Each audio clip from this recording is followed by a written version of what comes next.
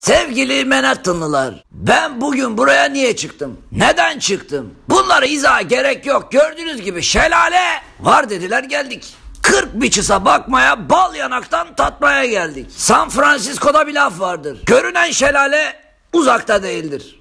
Anlatmaya hiç gerek yok. Anlatanın avradına boşluğu siz doldurun.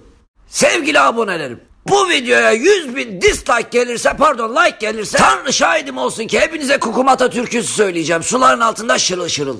Wow bro şimdiden 300 bin like oldu. Yapma bu kadar çabuk mu? Neyse söyleyeceğiz. Bir Texas her zaman sözünde durur. Vah vah vah vah vah.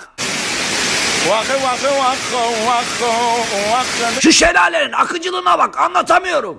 Mükemmel.